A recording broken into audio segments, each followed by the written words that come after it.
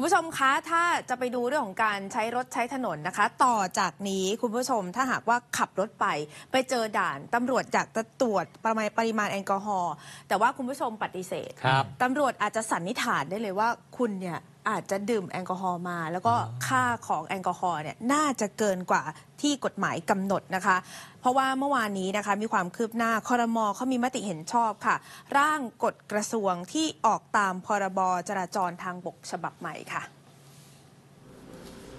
ร่างกฎหมายจราจรฉบับนี้ได้รับการเสนอโดยสำนักงานตำรวจแห่งชาตินะคะ ซึ่งนายคารมพลพรกลาง รองโฆษกประจำสำนักนายกรัฐมนตรีบอกนะคะ ว่าเดิมกรณีการตรวจวัดปริมาณแอลกอฮอล์เขาจะใช้วิธีการเป่า แต่ถ้าตรวจเลือดผู้ขับขี่ต้องให้ความยินยอมค่ะ โดยร่างกฎกระทรวงฉบับนี้ก็ได้เปลี่ยนหลักการใหม่ที่มีการสอบถามหน่วยที่เกี่ยวหน่วยงานที่เกี่ยวข้อง ทั้งกระทรวงยุติธรรม กระทรวงสาธารณสุขสำนักงานอายการสูงสุดสำนักงานศาลยุติธรรม ได้เปลี่ยนวิธีการตรวจวัดค่ะ จากลมหายใจโดยวิธีการเป่า และตรวจเลือดที่ต้องได้รับการยินยอม โดยมีการเพิ่มวิธีการตรวจวัดของเสียจากร่างกาย อย่างเช่น ปัสสาวะเพิ่มขึ้นมาค่ะ เพิ่มเข้ามาก็คือ ตรวจวัดจากของเสียอย่างอื่นจากร่างกาย เช่นปัสสาวะนะครับ อันนี้คือหลักการที่กำหนดมาใหม่นะครับ แล้วก็กรณีที่มีอุบัติเหตุเกิดขึ้น แล้วก็มีพฤติการที่เชื่อว่า ผู้ที่ขับขี่เนี่ยอาจจะฝ่าฝืนเมาสุรา แล้วก็ไม่ให้ความยินยอมนี่นะครับ เดิมพนักงานไม่มีอำนาจในการตรวจวัดปริมาณแอลกอฮอล์เนื่องจากว่าต้องได้รับความยินยอม ตอนนี้ถ้าไม่ความยินยอมก็ต้องเข้าข้อสันนิษฐาน เพราะฉะนั้นไม่ว่าใครก็ตามที่ไม่ให้ความร่วมมือก็ต้องเข้าขอสินฐาน ที่พนักงานสอบสวนจะต้องดำเนินคดีนะครับ แล้วก็ยังมีเรื่องของการที่ การที่จับ ผู้ขับขี่นะครับ ก็พนักงานสอบสวนจะต้องรีบส่ง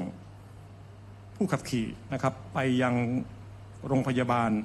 นะครับ เพื่อตรวจพิสูจน์แอลกอฮอล์นี่ในในร่างกายภายใน 3 ชั่วโมง นับแต่ที่ได้รับแจ้งนะครับไม่ว่าจะด้วยวิธีการอย่างไรอย่างหนึ่ง ส่วนปริมาณแอลกอฮอล์ที่ถือว่าเป็นปริมาณที่ดื่มเข้าไปแล้ว ถือว่าคุณเสพสุราแล้วก็ของมึนเมาที่จะเป็นความผิดก็ยังถือเหมือนเดิมคือ 50 มิลลิกรัมเปอร์เซ็นต์โทษ ของการเมาแล้วขับก็คือจำคุกไม่เกิน 1 ปี 1 ปีปรับตั้งแต่ 5,000 ถึง 20,000 บาท หรือว่าทั้งจำแล้วก็ทั้งปรับนะคะ แล้วก็พักใช้ใบอนุญาตขับรถไม่ต่ำกว่า 6 เดือนสำหรับผู้ที่มีปริมาณแอลกอฮอล์ในเลือด 50 มิลลิกรัมเปอร์เซ็นต์เปอร์เซ็นต์ค่ะ ส่วนกรณีเมาแล้วขับแล้วปฏิเสธการเป่าก็จะมีโทษจำคุกไม่เกิน 1 ปี ปรับ 10,000 ถึง 20,000 บาท ระงับใบอนุญาตขับรถไม่น้อยกว่า 6 เดือนนะคะ และศาลสามารถสั่งพักใบอนุญาตขับรถ หรือเพิกถอนใบอนุญาตขับรถ และสามารถยึดรถไว้ไม่เกิน 7 วัน แต่ถ้าหากเมาแล้วขับจนทำให้เกิดอุบัติเหตุ แล้วก็มีผู้ที่ได้รับบาดเจ็บหรือเสียชีวิต อันนี้ก็จะมีโทษหนักกว่าค่ะอืมเรื่องนี้ถูกวิพากษ์วิจารณ์กันพอสมควรทีเดียวบนค่ะโลกออนไลน์นะครับครับ แล้วก็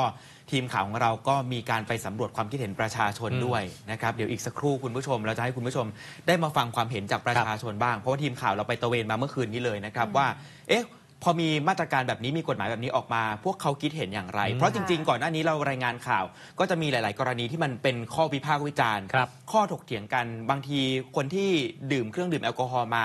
สติสัมปชัญญะเองอาจจะอ่าลดลงไป ครับ และบางครั้งอะปฏิเสธ การตรวจการเป่า บางทีอาจจะเป่าไม่ได้ด้วยซ้ำอืมก็ต้องมีการนำไปตรวจเลือด แต่ครับก็ต้องมีการยินยอมด้วย ใช่ แต่ทีนี้แน่นอนนะครับว่า